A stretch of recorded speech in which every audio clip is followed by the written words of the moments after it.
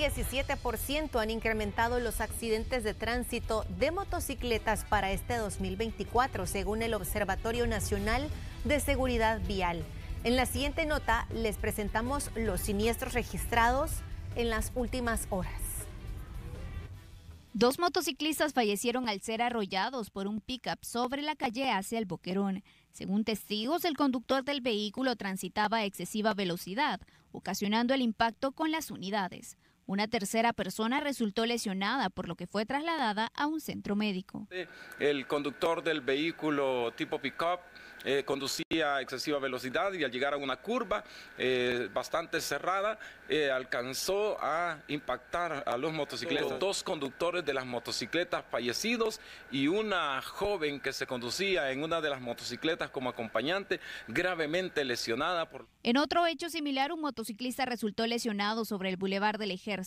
Según relató al personal de socorro, un vehículo le impactó al momento que quería sobrepasarle ocasionando que perdiera el control de la motocicleta e impactara con los separadores de la vía. Se conducía en su carril cuando un vehículo automotor intentó rebasarle, eh, haciéndole perder el equilibrio, por lo cual se impactó contra la valla separadora, resultando con severas lesiones, por lo cual nuestro personal de socorro se apersonó al lugar para brindarle el auxilio necesario. Y sobre la 13 Avenida Sur y 18 Calle Poniente de San Salvador, un vehículo no respetó la señal de alto ocasionándole múltiples lesiones a un motociclista que circulaba por la zona, quien tuvo que ser trasladado a un centro asistencial. Según testigos oculares, no respetó la señal de alto, por lo cual impactó a este joven motociclista, por lo cual nuestros socorristas se apersonaron al lugar para brindarle los primeros auxilios, estabilizarlo y luego trasladarlo hacia emergencia. Mientras que en el Boulevard Venezuela,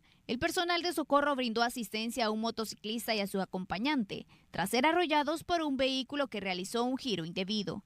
Las víctimas fueron trasladadas a un centro hospitalario. Según el Observatorio Nacional de Seguridad Vial, un promedio de nueve motociclistas resultan lesionados al día en un siniestro, mientras que uno fallece. Con imágenes de Ricardo Tobar, un informe de Carla Araniva.